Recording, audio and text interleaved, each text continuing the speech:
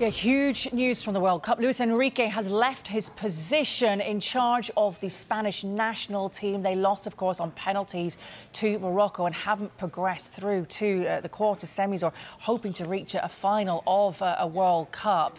He had spoken, didn't he, beforehand about uh, taking thousands of penalties over the last year. But uh, yeah, unfortunately, it was defeat for them against Morocco. They weren't able to progress. So Luis Enrique, um, the head coach of the Spanish national side, of course, in second spell in charge after rejoining them in 2019, has left his position. We'll get plenty more reaction to this news uh, throughout the day. I'm sure we'll bring it to you here first.